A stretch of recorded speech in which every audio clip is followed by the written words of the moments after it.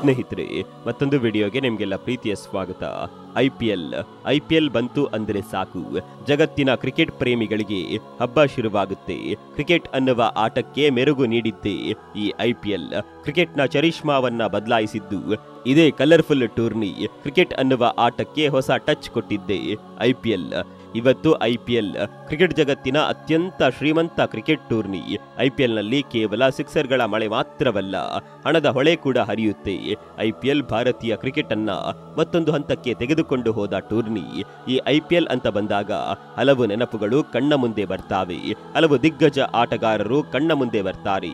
ಅದರಲ್ಲಿ ಮೊದಲೇದಾಗಿ mister IPL ಅಂತ ಖ್ಯಾತಿ ಪಡೆದ ಸುರೇಶ್ ರೈನಾ.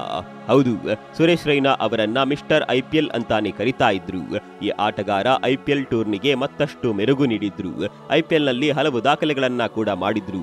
ಇಂತಹ ಆಟಗಾರ ಈಗ ಐ ಪಿ ಎಲ್ ಆಡುತ್ತಿಲ್ಲ. ಐ ಪಿ ಎಲ್ಗೆ ವಿದಾಯ ಘೋಷಿಸಿದ್ದಾರೆ. ಹೀಗೆ ಸಾಲು ಸಾಲು ದಿಗ್ಗಜ ಆಟಗಾರರು ಐ ಪಿ ಎಲ್ನಿಂದ ದೂರ ಸರಿಯುತ್ತಿದ್ದಾರೆ. Suresh Raina I P L ಅನ್ನ ಬಿಟ್ಟು ಹೋದ ನಂತರ ಕಳೆದ ಬಾರಿ ಮಿಸ್ಟರ್ ತ್ರೀ ಸಿಕ್ಸ್ಟಿ ಡಿಗ್ರಿ ಖ್ಯಾತಿಯ ಎಬಿಡಿ ಕೂಡ ಐ ಪಿ ಎಲ್ನಿಂದ ದಿಢೀರ್ ನಿವೃತ್ತಿಯಾಗ್ತಾರೆ. ಎಬಿಡಿಯ ಈ ನಿವೃತ್ತಿ ಕ್ರಿಕೆಟ್ ಅಭಿಮಾನಿಗಳಿಗೆ ಶಾಕ್ ಕೊಟ್ಟಿತ್ತು. ಅದರಲ್ಲೂ ಆರ್ ಸಿ ಬಿ ಅಭಿಮಾನಿಗಳ ಕಣ್ಣಲ್ಲಿ ನೀರು ಜಿನುಗುವಂತೆ ಮಾಡಿತ್ತು ಎಬಿಡಿ ತೆಗೆದುಕೊಂಡ ಆ ನಿರ್ಧಾರ. ಎಬಿಡಿ ಇಲ್ಲದ ಐ ಪಿ ಎಲ್ ಅನ್ನ ಕಲ್ಪಿಸಿಕೊಳ್ಳೋದು ಕೂಡ ತುಂಬಾನೇ ಕಷ್ಟ. ಐ ಪಿ ಎಲ್ಗೆ ರಂಗು ತುಂಬಿದ ಎಬಿಡಿ ಅವರ ಅದೆಷ್ಟೋ ಇನ್ನಿಂಗ್ಸ್ಗಳಿವೆ.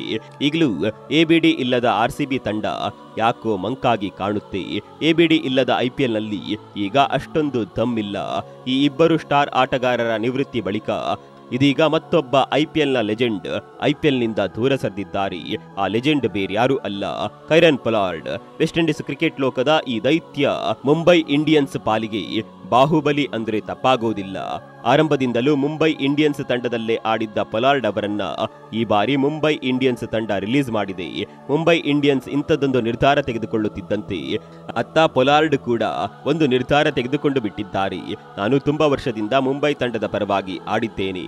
ನನ್ನಿಂದ ಮುಂಬೈ ಇಂಡಿಯನ್ಸ್ ತಂಡದ ವಿರುದ್ಧವಾಗಿ ಆಡಲು ಸಾಧ್ಯವಿಲ್ಲ ಅಂತ ಪೊಲಾರ್ಡ್ ಐಪಿಎಲ್ಗೆ ನಿವೃತ್ತಿ ಘೋಷಣೆ ಮಾಡಿದ್ದಾರೆ. ಅಲ್ಲಿಗೆ ಮತ್ತೊಬ್ಬ ಐಪಿಎಲ್ ದಿಗ್ಗಜ, ಕಲರ್ಫುಲ್ ಟೂರ್ನಿಯಿಂದ ಹೊರಗೆ ಬಂದಿದ್ದಾರೆ. ಪೊಲಾರ್ಡ್ ಅದೆಷ್ಟೋ ಪಂದ್ಯಗಳಲ್ಲಿ ಮುಂಬೈ ಇಂಡಿಯನ್ಸ್ ತಂಡಕ್ಕೆ ಆಧಾರ ಸ್ತಂಭವಾಗಿದ್ದವರು. ಸ್ಫೋಟಕ ಹೊಡೆತಗಳಿಗೆ ಹೆಸರಾಗಿದ್ದವರು. ಪೊಲಾರ್ಡ್ ಇದ್ದಾಗ ಮುಂಬೈ ಇಂಡಿಯನ್ಸ್ ತಂಡಕ್ಕೆ ಒಂದು ಕಳೆ ಇತ್ತು. ಬೌಲಿಂಗ್, ಬ್ಯಾಟಿಂಗ್ ಎರಡರಲ್ಲೂ ಕೂಡ ಪೊಲಾರ್ಡ್ ಪಂಟರಾಗಿದ್ದವರು. ಮೈದಾನ ಅದೆಷ್ಟೇ ದೊಡ್ಡದಿರಲಿ, ಪೊಲಾರ್ಡ್ ಬ್ಯಾಟ್ನಿಂದ ಸಿಡಿದ ಚೆಂಡು ನೇರವಾಗಿ ಸಿಕ್ಸರ್ನ ಗಡಿ ದಾಟಿ ಹೋಗ್ತಾ ಇತ್ತು.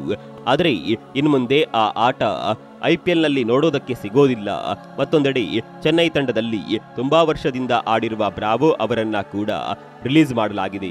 ಅಲ್ಲಿಗೆ ಇನ್ಮುಂದೆ ಬ್ರಾವೋ ಹಳದಿ ಜೆರ್ಸಿಯಲ್ಲಿ ಕಾಣಸಿಗೋದಿಲ್ಲ.